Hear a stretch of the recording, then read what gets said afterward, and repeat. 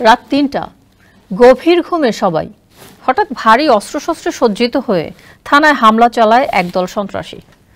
পরিকল্পিতভাবে চারদিক থেকে ছোড়া হয় গ্রেনেড আর গুলি। ফলে রীতিমতো যুদ্ধক্ষেত্রে পরিণত হয় গোটা অঞ্চল। দিশেহারা হয়ে পড়ে পুলিশ। আতঙ্ক ছড়ায় আশপাশে। সন্ত্রাসীদের পাল্টা জবাব দিতে গুলি ছোড়ে পুলিশও। একসময় বাধ্য হয়ে পিছু হটে সন্ত্রাসীরা। এই গোলাগুলিতে প্রাণ যায় কমপক্ষে দশ পুলিশের। রাতেই তাদেরকে উদ্ধার করে নেওয়া হয় হাসপাতালে। এর পরপরই এলাকাটি ঘেরাও করে সন্ত্রাসীদের খুঁজতে তল্লাশি অভিযানে নামে পুলিশ। এছাড়া পরিস্থিতি নিয়ন্ত্রণে নামানো হয় অতিরিক্ত পুলিশ। বিস্তারিত থাকছে ডেস্ক রিপোর্টে। পাকিস্তানের খাইবার পাখতুনখোয়া প্রদেশের দেরা ইসমাইল খান জেলার একটি থানায় ব্যাংক থেকে নগদে অ্যাড মানি করে প্রতি সপ্তাহে জিতুন মালদ্বীপে কাপল হলিডে প্যাকেজ।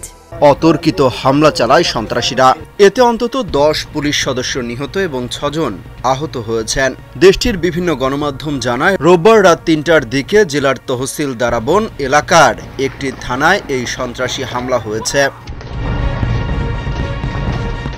এমন এক সময় এই হামলার ঘটনা ঘটল যখন পাকিস্তান জুড়ে নির্বাচনী হাওয়া বইছে। আগামী আট ফেব্রুয়ারি দেশটিতে জাতীয় সংসদ নির্বাচনের ভোট অনুষ্ঠিত হবে। তবে এই নির্বাচনে দেশের প্রধান বিরোধী নেতা ইমরান খান ও তার দল পিটিআইকে অংশ নিতে দেয়া হয়নি।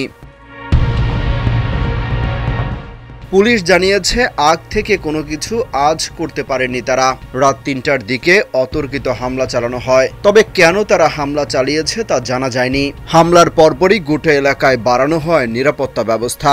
মোতায়েন করা হয় পুলিশের অতিরিক্ত সদস্য। পাকিস্তানের নিরাপত্তা পরিস্থিতি মোটেও ভালো না। দু হাজার পনেরো সালের পর সদ্য বিদায় দু হাজার তেইশ সালে সবচেয়ে বেশি সন্ত্রাসী হামলা হয়েছে। এমনকি নির্বাচন পূর্ববর্তী সহিংসতায় বেশ কয়েকজন সংসদ সদস্য প্রার্থী প্রাণ হারিয়েছেন। দেশের এমন ভয়াবহ নিরাপত্তা পরিস্থিতির কথা উল্লেখ করে নির্বাচন পেছাতে সংসদের উচ্চকক্ষ সিনেটের প্রস্তাব পাশ হয়েছে। যদিও এই প্রস্তাব মেনে নির্বাচন পেছানোর কোনো আইনি বাধ্যবাধকতা নেই। অবশ্য নির্বাচন অবাধ, সুষ্ঠু ও শান্তিপূর্ণ করতে সেনাবাহিনী মোতায়েন করার কথা জানিয়েছে সরকার। অমিত হাসান, রবিন, কালবেলা।